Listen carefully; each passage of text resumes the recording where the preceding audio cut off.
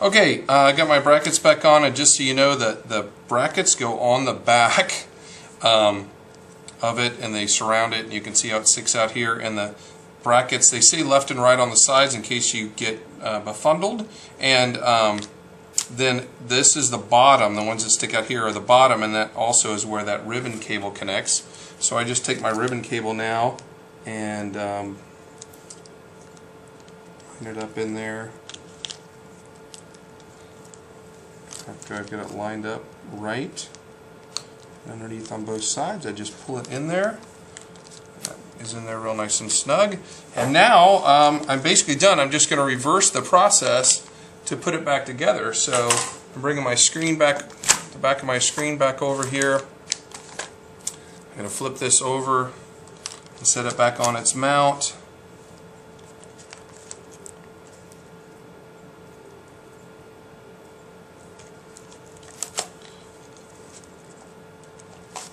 Oops, if I can get it in there nice, there we go.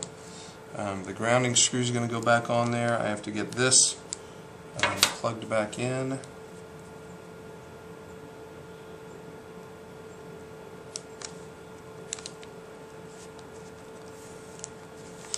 Okay, and then I've got my um, grounding screw here. It goes back in. And I'm just basically reversing exactly what we just did um, to take it out. Got my four screws that mounted in here. I'm putting back in.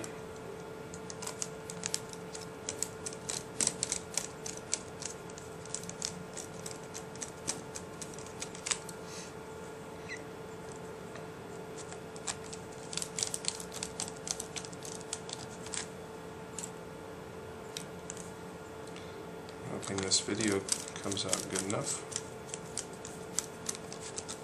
Okay, I've got my four screws back in there, and then I'm going to put my bezel back on the top, and this speaker came out of spot. If you didn't know, their speakers are right in here. I need to make sure before I put that back together, I get my speakers back where they belong. And then I should be able to set this right back in there and snap it back into place and then replace the next four screws that held that on.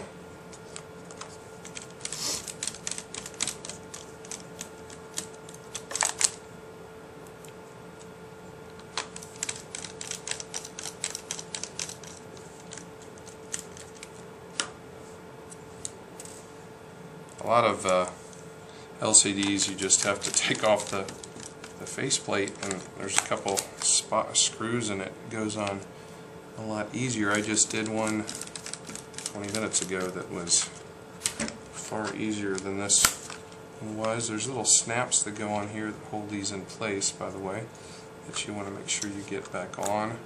They're really hard to get on um, after the thing's all put back together although you can. What covers the wires and brings it back in there. And then I go around and make sure I've got it snapped in there real good. You can see where I lost at least one snap. In fact, there it is. So I've got that all done. I'm going to check the tightness now after I get everything in place.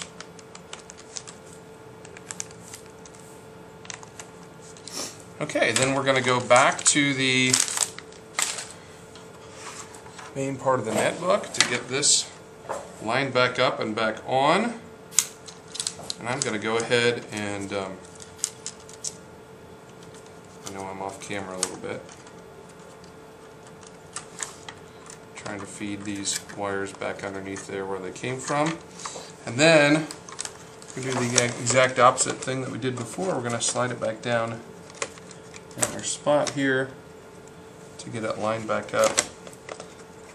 Have it, and then I have to put those two retaining screws back on there, and I'll be honest, this makes it a little easier once I get it on there to just go ahead and close it up, because I can do it now here flat on here much easier than it was before. I can make sure those things are all in place.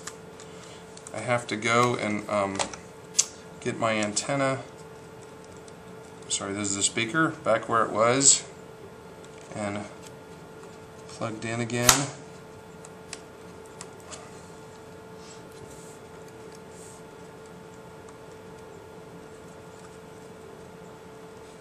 That's, there we go, throw it underneath there.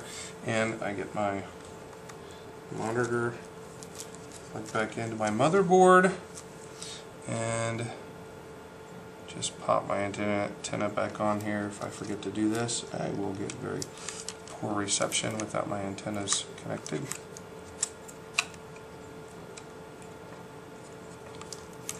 I'm just going to put a little bit of pressure on there to snap them right back over the... I'm having a heck of a time getting this one on. I can't seem to get it lined up right. There we go. Okay, and again, once I get those on and make sure they're on there real good, I'm going to get it back in it, still stay there, run it back around hard drive here so that when I close this up I'm not pinching that wire again.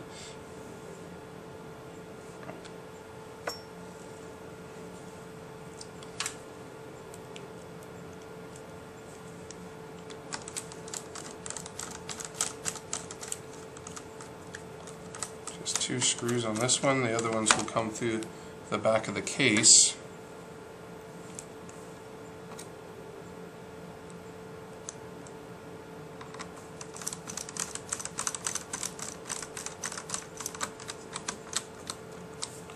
Okay, and now we're ready to put the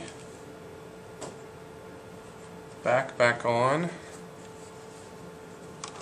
As I do this, I just need to make sure I don't pinch any of my wires while I'm doing that.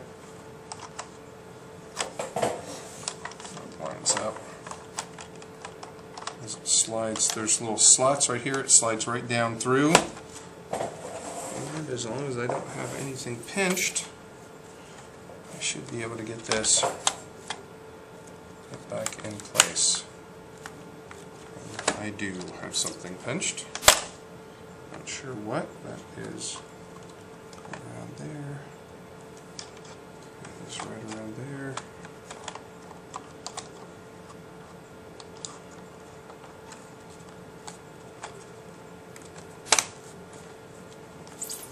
Okay, there we go, and then we've got our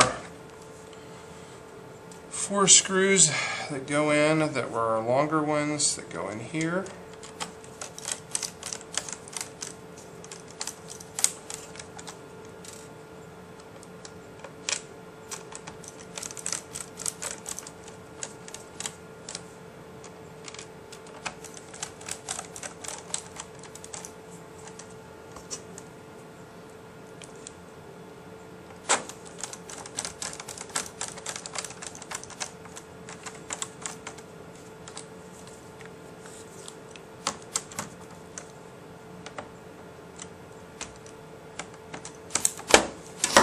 Okay, then we've got our three screws in here that we've got to get back in.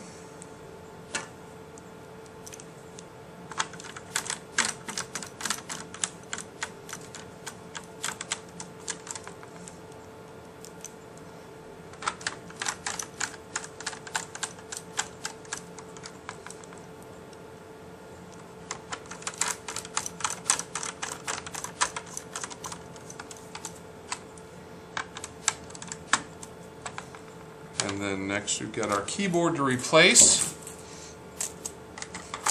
It's fairly easy. We have to replace these actually on a fairly recurring basis with students that just put that in there and then I push down the bar and then this just slides underneath there and snaps right into place.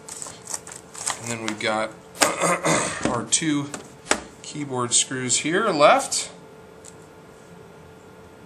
And I drop one of those in there upside down. That's not going to help me at all, is it? There we go.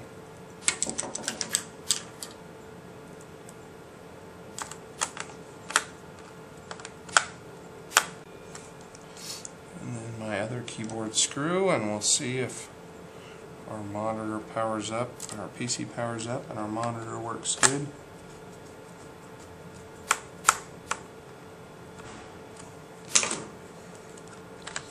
And then we put our battery back on. Make sure it's locked. And we will see if we have a nice, no broken screen over here, and our Dell laptop is fixed.